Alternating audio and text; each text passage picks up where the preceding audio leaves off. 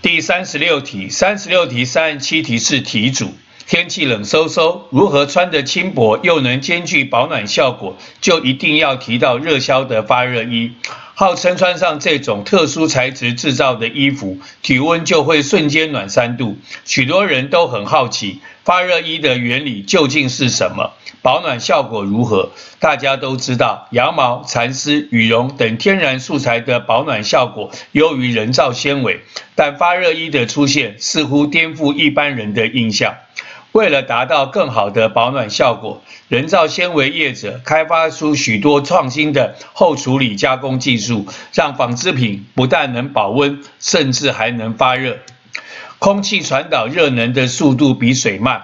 发热衣就是透过布料本身的空气阻热原理设计而成。当人在活动时，因运动而自体内传导出热气，再借由发热衣中空纤维的特性，让热气锁在其中，并不断循环。另外，衣服的颜色也是影响发热衣温度的因素之一。远红外线放射性是普遍被运用在发热衣制作的一种技术。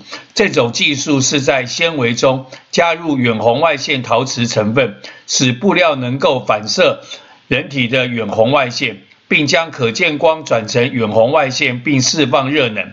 穿上这种添加远红外线陶瓷的发热衣，大约可以让体表温度上升摄氏二到三度。但缺点是，有的人会觉得比较闷热，而且容易产生静电，穿着时会有瘙痒感。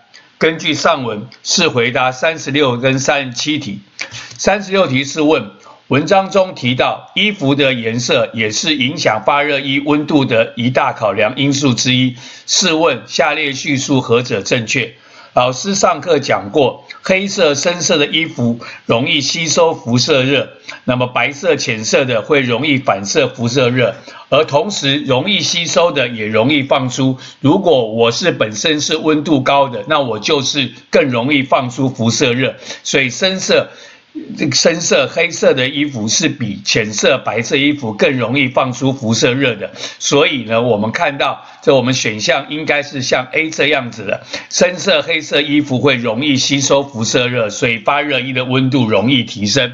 三十六题问我们说，试问下列叙述何者正确？我们答案选的是 A，衣服颜色为黑色或深色越容易吸收辐射热，因此发热衣温度越容易提升。